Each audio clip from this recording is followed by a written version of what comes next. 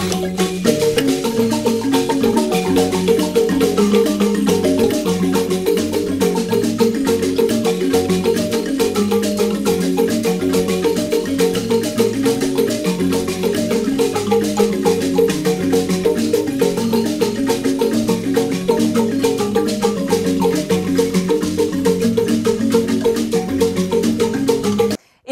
a pleasure to know that you're watching New Vision TV's Pearl of Africa Diaries with me, your pal guide, Ruth Nasejje. And as we continue to look at the animals here in Uganda, today we look at an ostrich.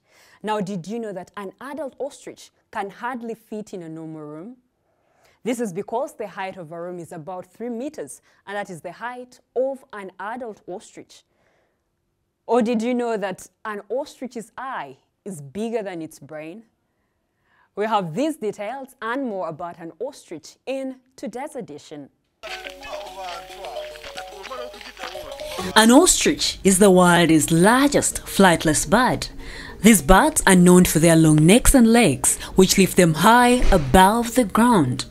In spite of their height, the ostriches were blessed with a very small head with a combination of one rounded eye measuring up to 5 centimeters and the tiniest of the brain. Their beak is flat and broad with a rounded tip. Vicky. I think you see. Here is Dan Mirembe, a zookeeper at the Uganda Wildlife Education Center, who tells us how you could differentiate between a male and a female ostrich. By sexual difference, differentiation, this one is a male. That's the coloration of the male. And those ones which are gray, they are female. So that's how you can tell the difference between a male and a female. So beside the coloration, you can as well tell from the size. And basically the ostriches, they are known to be the fastest running birds. So which make them to be faster than any other bird is because of the toes. So they have the toes, two toes, which is a powerful aid, which is a powerful aid that gives them the ability to be very fast. On the two toes of an ostrich, there is a large nail which resembles a hoof. It is this they use to kill predators. However, when threatened, ostriches run. These birds can run up to 70 kilometers per hour. They are also edible by some people. Their meat, if you can eat chicken, you can as well eat them. So another thing which is very outstanding about them, every animal has a defensive mechanism. That's what you have to notify. So the only the way how ostriches defend themselves is by kicking and they have a strong kick. Its kick, if it is kicked on a very sensitive part of a lion, it, can as well kill a lion. So that's why we don't take it for granted when we go inside there, especially with the male. And it becomes intensive when they are in mating season. Ostriches do not have teeth but they feed. This is through swallowing and picking using the beak. These are the zoo are treated to carrots and eggplants. But what do those in the wild feed on? They eat the same food like the chicken we have at home. But with us here, we give them chicken mash.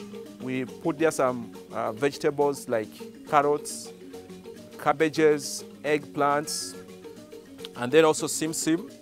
And then also in the wild, what they do, they eat on grass, and then also some small insects and small reptiles like uh, frogs and lizards.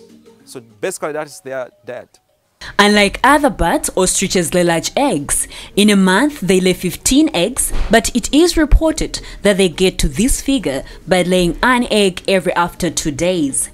The most active months are February and June because they are dry months. In preparation for incubation, the male ostrich prepares the ground by digging a hole, which is about one meter wide and one foot deep. In the hole, it pours in sand, which helps in generating warmth for the laid eggs.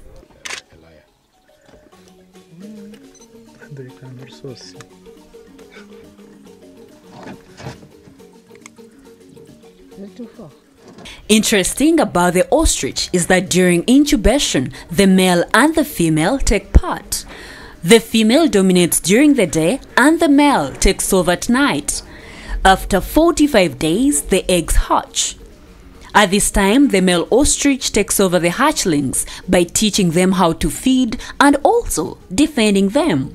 And what does an expression burying one's head in the sand mean? Apparently, ostriches love dust bathing. They do this by burying their heads in the sand as the rest of the body is seen. Besides kicking, another defensive mechanism of an ostrich is by pressing their long necks in the sand. The mating sessions of an ostrich are said to be the noisiest. They make funny sounds which include roaring like a lion, booing, and hissing. According to Mirembe, the lifespan of animals living under captivity is much longer than those who live in the wild. The longevity of the lifespan of every animal depends on where it is. So in captivity, they will live beyond than how they will live in the wild. So in captivity, they will live at an average of between 50 to 55, whereas the average lifespan in the wild is 45. So that's basically about the ostriches. Basically, in Uganda, ostriches are found in Kidepo Valley National Park. Kidepo is located in the northeastern part of Uganda.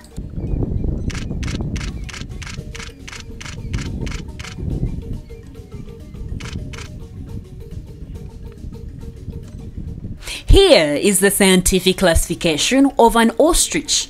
Kingdom Animalia, phylum Chordata, class Aves, order struthioniforms family Struthionidae, genus Struthio, species Struthio camelus.